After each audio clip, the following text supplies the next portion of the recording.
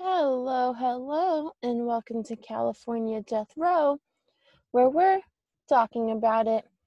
There are currently 727 condemned inmates on California's death row, and today we're going to talk about the death of two half sisters. Deborah Cimino and Diane Penson were two half sisters that shared a Sacramento townhouse. They were killed in the early morning hours of Sunday, March 20th, 1983. Diane was found the next day in her bedroom, dead of, dead of stab wounds and strangulation. Debbie, also strangulated, was found in her car, which was parked outside the townhouse. The principal evidence against Duane consisted of his fingerprints inside the townhouse and Debbie's car. Pubic and other hairs found at the crime scene that were consistent with Duane's hairs and inconsistent with Debbie's and Diane's. Duane's initial false exculpatory statements to police, including an attempt to manufacture an alibi. Duane, Duane's eventual partial admission to presence at the crimes. At the time of their deaths in 1983, Diane was 32 and Debbie was 20. Both were single even and Diane had previously been married and she was divorced. They lived alone in the townhouse. Their mother, Lori Cimino, and Deborah's father, which is Diane's stepfather, Michael Cimino, lived about a block away. Jeanette Williams was a third sister who lived in Sacramento with her 10 year old daughter, Michelle, and they visited Diane and Deborah frequently, including on the weekend of their deaths. Diane and Debbie were um, security conscious. They locked their front door even when they, we were home, and they set a burglar alarm at night. On Saturday, March 19th, Michelle, who had spent Friday night, night at Diane's and Deborah's townhouse, helped Deborah with her car. They cleaned her car thoroughly inside and out. They wiped the back window with Windex and the interior surface, surfaces with Armor All. Diane took Michelle home around 3:30 p.m., then went to a movie with Michael. Diane dropped Michael off after the after the film and spoke to him by telephone around 6 p.m., saying that instead of having dinner with him as planned, she would rather stay home and watch some videos. Sherilyn Hope was a friend of Deborah's and spent around two hours on Saturday, March 19th from 9 to 11 at the townhouse with Deborah mostly in her bedroom. Deborah was wearing beige shorts and a red and white top, had just finished cleaning the bedroom before Sherilyn's visit.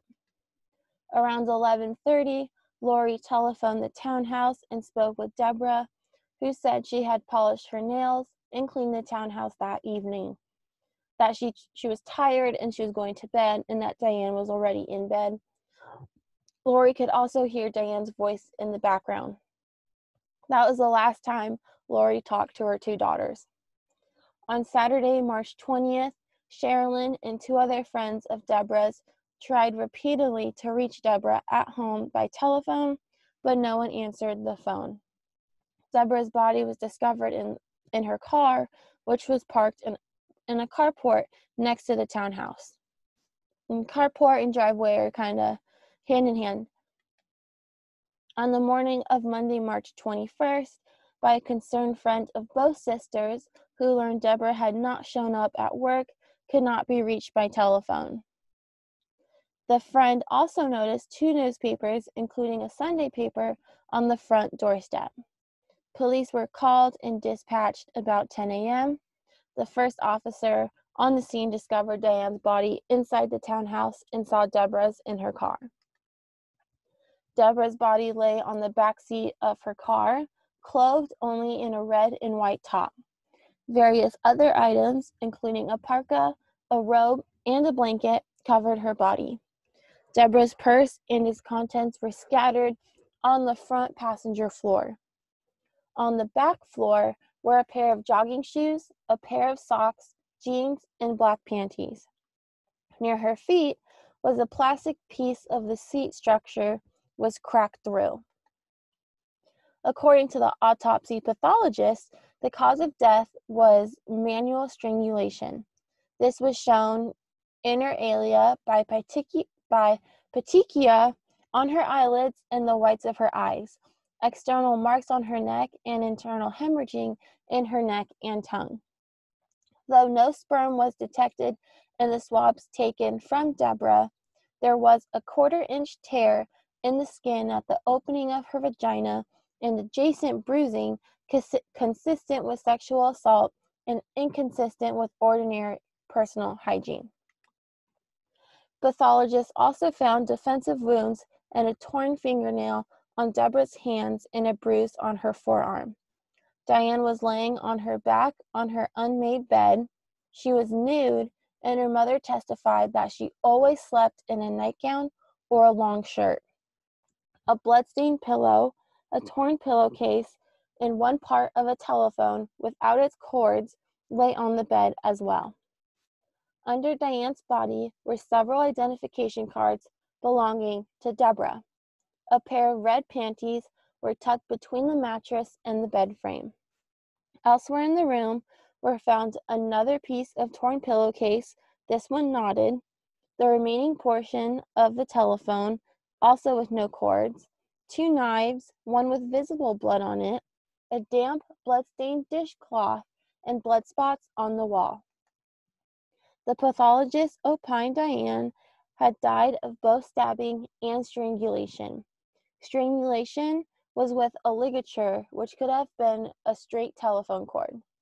Ligature strangulation was shown by petechia, her dark and puffy face, and the pattern of straight, narrow wounds on her neck. Apparent ligature marks were also on her wrists and ankles. Diane had been stabbed with a knife or smaller weapon at least five times in the upper abdomen, including wounds to the heart and liver. Some of the wounds were apparently aggravated by the weapon having been partially withdrawn and thrusted back in a different angle in the same area. There was no physical evidence of sexual assault. The telephone in the townhouse kitchen was on the floor, missing its flat cord.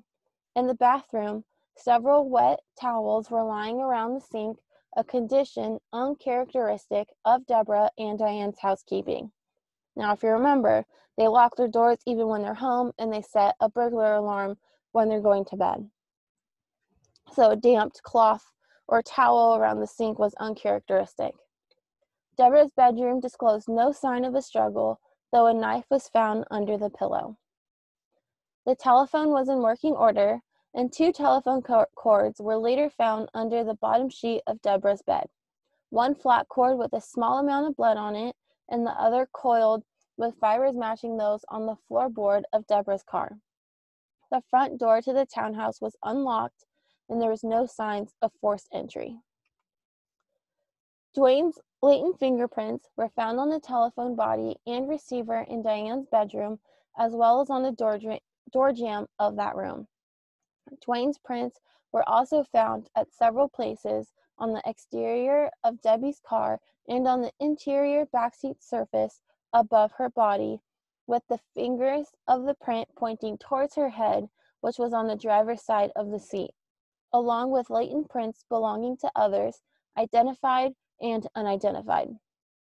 Three pubic hairs, one combed from Deborah's pubic hair, and two found on a robe found in her car, showed characteristics consistent with the microscopic appearance and structure of Duane's, but inconsistent with Deborah's. Two scalp hairs, the criminalist described as Negro, were found on a blanket covering Deborah's body. Deborah was excluded as the donor of these hairs. Duane, who was African American, could not be excluded. When arrested on March 22, 1983, Duane had several scratches on his abdomen, which he said was incurred playing handball the previous day. On Monday, March 21, 1983, in the initial police investigation of the deaths, Debbie's friend and mother mentioned Duane as an acquaintance of Deborah's. Officers Hash and Dean contacted Duane that evening. Duane was cooperative, giving the officers a taped interview and supplying them with fingerprint samples. According to Duane's statements on March 21st, He knew Debbie from high school, where they had been friends. They corresponded during a period he spent uh, during a period he spent away from Sacramento, and on his return, they renewed their friendship. Duane was not Deborah's lover, though he would have liked to have been. Duane had been in Diane and Deborah's townhouse many times, including both bedrooms. Duane's father lived very close to the townhouse, but Duane himself lived with his mother elsewhere in Sacramento. In the interview, Duane said that he spent Saturday night, March 19th, with a friend, Robert Cruz, and Cruz's friends watching television at Robert's home, drinking, and driving around Sacramento. Duane abstained from drinking. Duane slept on Robert's couch around 4 to 6:30 Sunday. Then Robert dropped him off at his mother's house around 7, where after his mother let him in, he sl- she uh, he slept until 2 p.m. that day. Questioned late on the night of March 21st, Robert confirmed Duane's alibi, and he told officers he had dropped Duane at, at Duane's mother's house around 8 a.m. on Sunday, March 20th.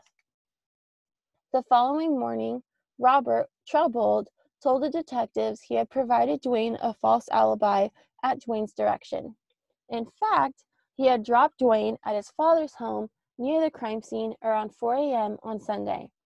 Duane had called him later that morning and directed that if anyone were to ask, Robert should say he left Duane at his mother's at 8. After confessing his earlier falsehood, Robert, at the d- detective's direction, made a monitored telephone call to Duane. So sometimes this is called as cold calling, to where the person of interest doesn't know that the police are also listening in. So when Robert began to ask Duane about the false alibi. Duane cut him off and asked him to come by later so Duane could show him something. Robert also contradicted Duane's statement that he and Duane did not drink any alcohol Saturday night. On Tuesday, March 22nd, de- detectives detained Duane, who said he was on his way to see them as he was leaving his house. At the station, Duane was advised, was advised of and waived his Miranda rights and as you know, Miranda the Miranda rights are are read, and um, and pretty much says you have the right to remain silent. Anything you say can and will be used against you. You have a right to an attorney if you can't afford one. One can be appointed to you. Um, kind of like if you have any questions, I ask now. But that's kind of standard to say or something along along those lines, not that exact verbatim. So now Duane admitted that Robert had, in fact, dropped him at his father's home between 3 and 4 a.m. He also admitted he had been drinking that night with Robert and his friends, but claimed he was not drunk and was in control of himself. When Duane realized his father was not home, he walked to a nearby Circle K convenience store and telephoned his mother's house for a ride, a ride home. Duane also admitted that before Robert dropped him off, he noticed his father's van was not in the driveway. No one answered at his mother's house. Duane also called a friend who lived in the neighborhood, Lorenzo, but got no answer there either. Duane initially said he thought about calling Deborah, but knew she would be in bed. Later, he said he called Deborah's and Diane's home, but no one answered. While at the Circle K, Duane heard a scream and the sound of glass breaking. Afraid that he would be associated with a possible crime because of his proximity, he later told Robert to say he had dropped him off at his mother's house rather than his father's. Eventually, as a detectives purported to begin filling out an arrest report and booking him, Duane admitted he had drunk enough beer and tequila to get drunk that from his father's he went over to Deborah's house and that he remembers uh, her screaming in the carport.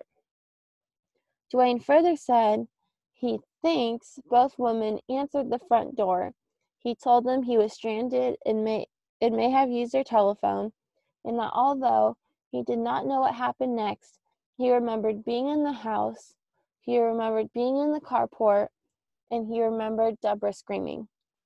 Asking how he stopped her from screaming, Duane said he did not know. So his case on an automatic appeal went to the Supreme Court of California, and on May 31st, 1990, the judgment of guilt was reversed and granted a retrial due to jury misconduct. So, with the reversal of guilt, he gets a, an entirely brand new jury, and this jury will go through the guilt phase.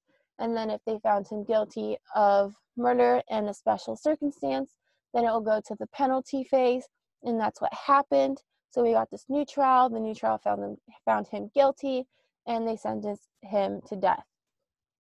So on that new trial, his case got automatically appealed to the Supreme Court of California, and on June 17, 2004, the judgment was affirmed in its entirety. So what he can now do is he can um, petition for a writ of cert and file it to the United States Supreme Court. And pretty much what this asks is for the lower courts to produce all of their court records and their decisions, have the United States Supreme Court look over it, and see if they want to hear his case. So on December 22nd, 2004, Duane petitioned for a writ of cert. However, the United States Supreme Court denied it on February 22nd, 2005 and this pretty much affirms what the Supreme Court of California said in affirming the judgment of death. But since he has exhausted all of his appeals, Duane does have the option of filing a writ of habeas corpus. But with a writ of habeas corpus, what he has to do is produce new evidence. And so if you look at some of the news reports, he was claiming that Nope. no so what sometimes if you want new evidence what you can claim is like erotic sex and that that was something that she liked but that's kind of hard to prove. So usually that's kind of denied and oftentimes a writ of habeas corpus can be denied unless he proves that there was new jury misconduct like there was in his first case. So where is Duane Holloway now? He is still at San Quentin State Prison, and he's been there since July 1st, 1985, and that means it'll be 35 years on July 11th. So that is where he is now, and that's where he is at. So thank you for listening in. We post on Mondays, Wednesdays, and Saturdays. You can catch us on our next posting. Give us a follow, a like, a subscribe, give a comment, whatever floats your boat. But thank you for listening and